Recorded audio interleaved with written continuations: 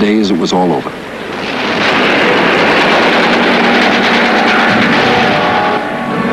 Darkness fell on Yugoslavia.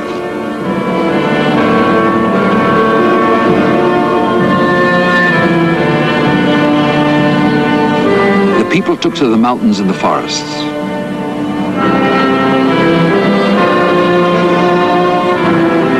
By the end of 1941, the resistance had spread throughout Serbia, Montenegro, Slovenia, and Croatia.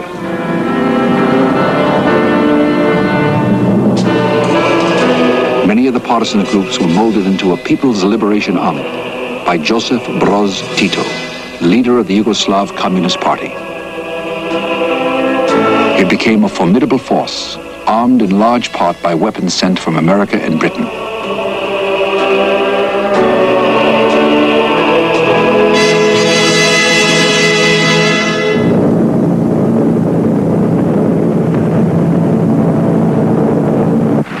Germans sent some of their best divisions into this rugged terrain. They did not succeed in crushing the partisans.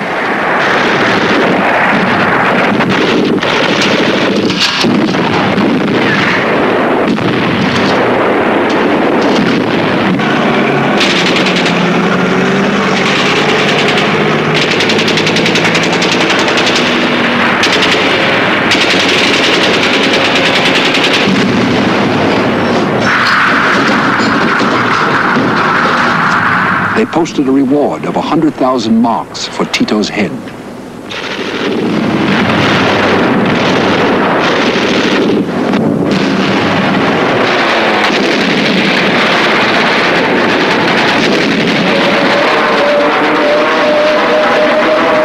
Frustrated and impotent against the partisans, the Germans took the only course they knew.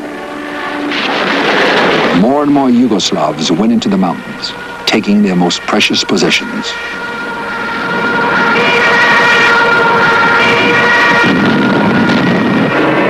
Behind them was massacre.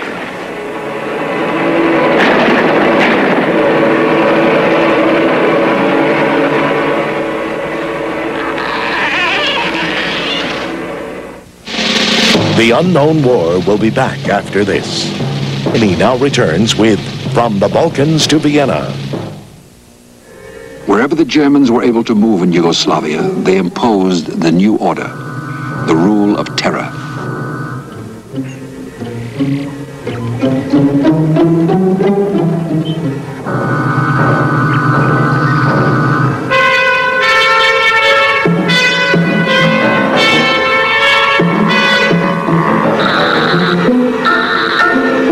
But the Yugoslavs kept control of the mountains.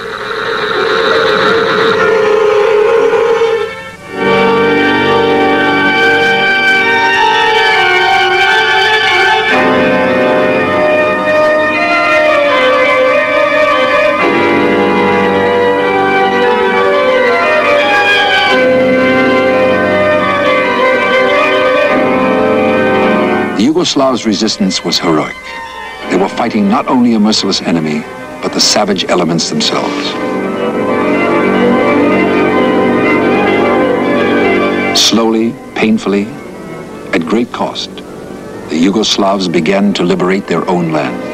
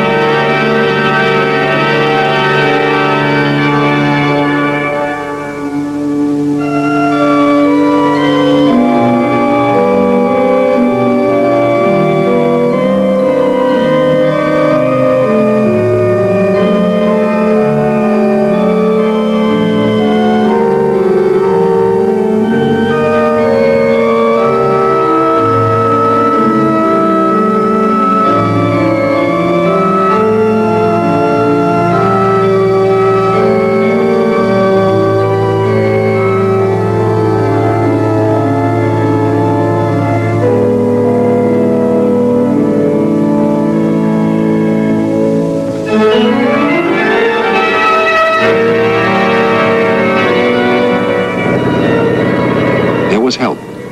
Allied planes brought guns, ammunition, medical supplies, and took out the wounded.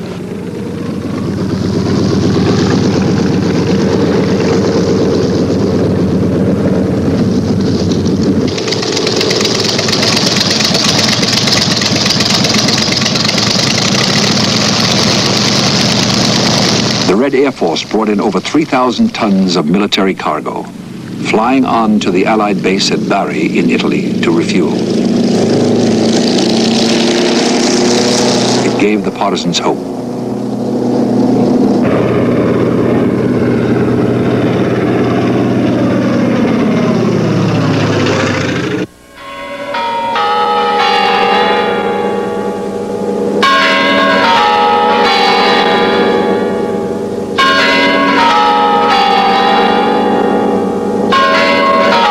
September 21, 1944, Tito made an agreement in Moscow.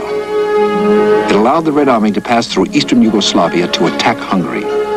It also arranged for a joint attack by the Red Army and Tito's forces that would liberate the Yugoslav capital of Belgrade.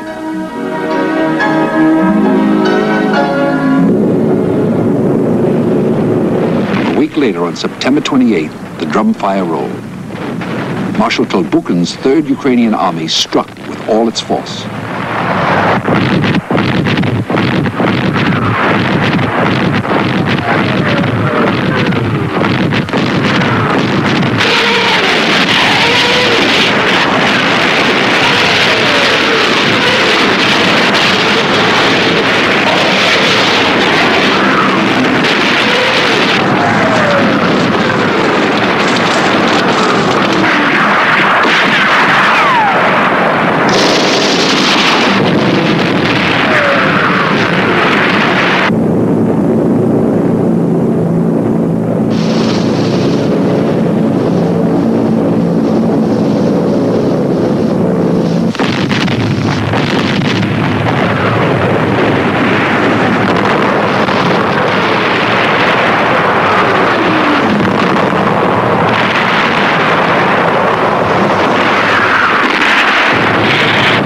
October 14th, the Soviets and Tito's People's Liberation Army reached the outskirts of Belgrade.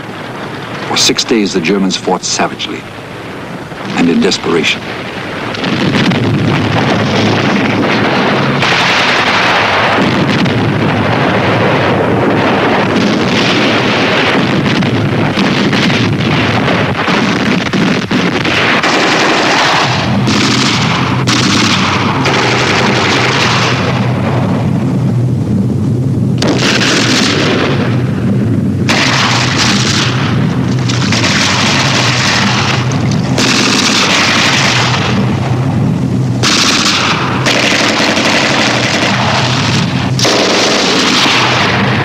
Street by street, block by block, the Germans were forced out.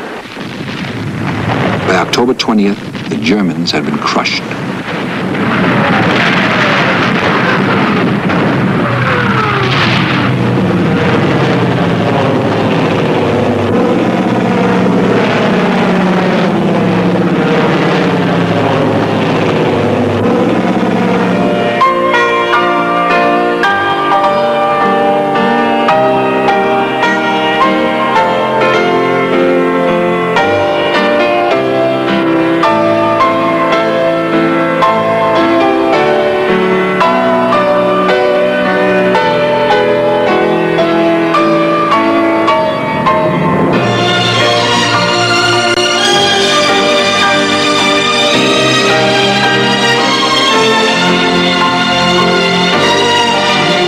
Said, without the Soviet Union, it would have been impossible to win over the Nazi invaders.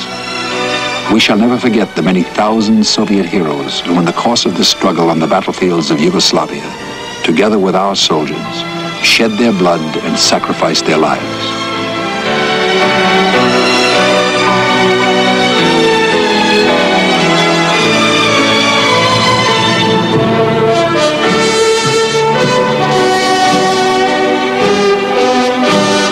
Josip Broz Tito had come a long way from his ragged beginnings in the mountains.